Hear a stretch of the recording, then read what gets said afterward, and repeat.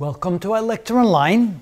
In this video, we're going to define what parametric equations are. And of course, we're dealing with parametric equations in three dimensions here. So what are parametric equations? Well, parametric equations are equations. But what do they do?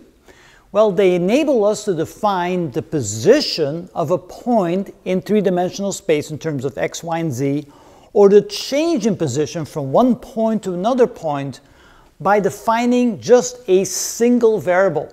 So a value for that single variable will define a point in space and a change in that value of that single variable will change the position of that point in space. We'll go to a new point in space and so the x, y, and z will change by the change of that single variable.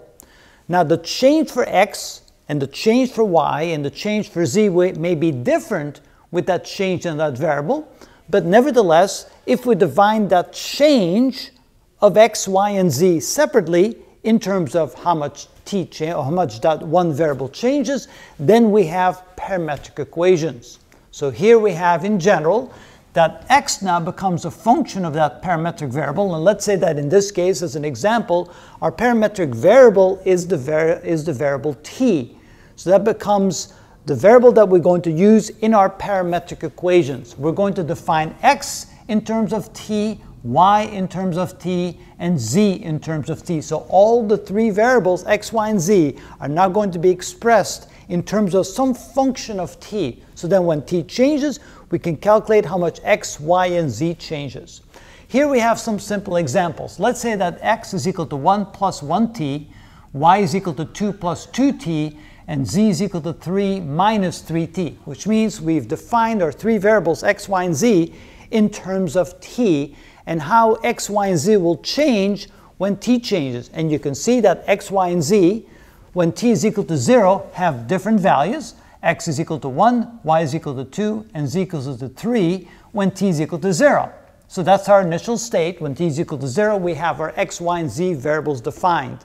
Then when t takes on a value, those x, y, and z variables are now going to change, but they're going to change differently depending upon whether or not we have x, y, or z, because they have different functions, different relationships with that one variable. In this case, you can see that x, y, and z are linearly dependent on t because t is multiplied by a constant. If we have, for example, x equals 1 plus t squared, then there wouldn't be that linear dependency. So the general format of linear equations or linear parametric equations are this. x is equal to some initial value for x plus some constant times t.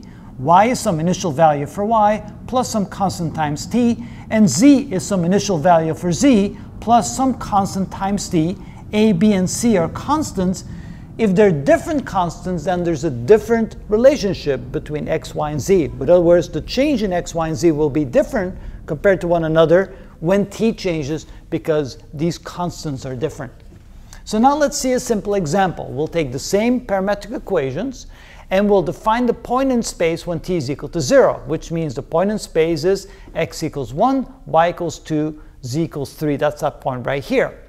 Then when we allow a change in t, we go from t equals 0 to t equals 1, then x, y, and z will change according to their what we call parametric equations. We can calculate how much it will change. So that means that when t is now equal to 1, x becomes equal to 2.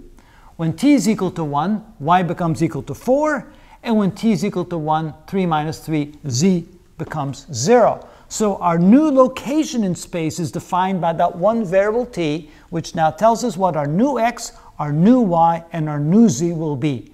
And that's what we mean by parametric equations. It allows us to pick points or pick values for x, y, and z according to that point or associated with that point by the parametric variable and those relationships between that parametric variable t and the three values x, y, and z are defined by the three parametric equations. The parametric equations define how x, y, and z change when we have a change in our one parametric variable. And that's what we mean by parametric equations.